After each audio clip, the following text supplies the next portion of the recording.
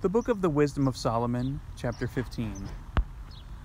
But you, our God, are gracious and true, patient and in mercy, ordering all things.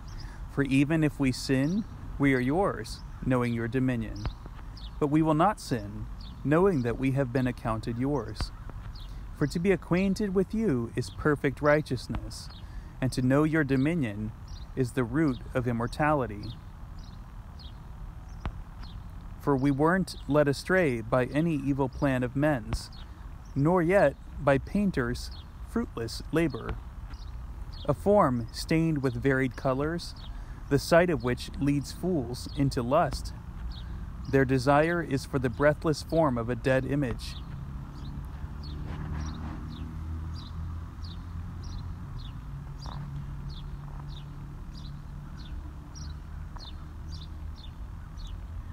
Lovers of evil things and worthy of such hopes are those who make, desire, and worship them. For a potter, kneading soft earth, laboriously molds each article for our service. He fashions out of the same clay both the vessels that minister to clean uses and those of a contrary sort, all in like manner. What shall be the use of each article of either sort? The potter is the judge. Also, laboring to an evil end, he molds a vain God out of the same clay, he who, having but a little before been made of earth, after a short space goes his way to the earth out of which he was taken, when he is required to render back the soul which was lent him. However, he has anxious care, not because his powers must fail, nor because his span of life is short but he compares himself with goldsmiths and silversmiths, and he imitates molders in brass, and considers it great that he molds counterfeit gods.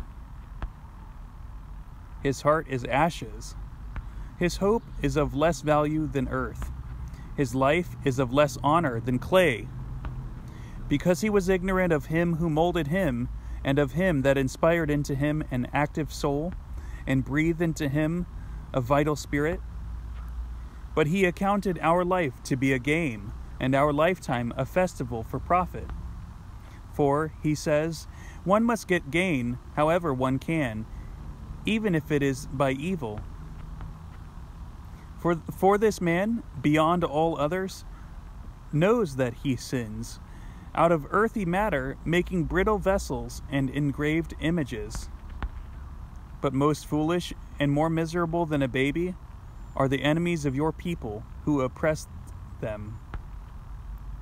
Because they even considered all the idols of the nations to be gods, which have neither the use of eyes for seeing, nor nostrils for drawing breath, nor no-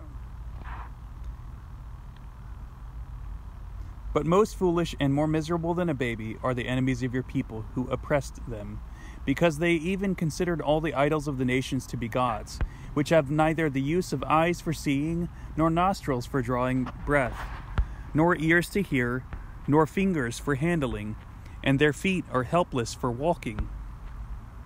For a man made them, and one whose own spirit is borrowed molded them. For no one has power as a man to mold a god like himself. But, being mortal, he makes a dead thing by the work of lawless hands. For he is better than the objects of his worship, since he indeed had life, but they never did. Yes, and they worship the creatures that are most hateful, for, being compared as to lack of sense, for being compared as to lack of sense, these are worse than all others. Neither, as seen beside other creatures, are they beautiful so that one should desire them, but they have escaped both the praise of God and his blessing.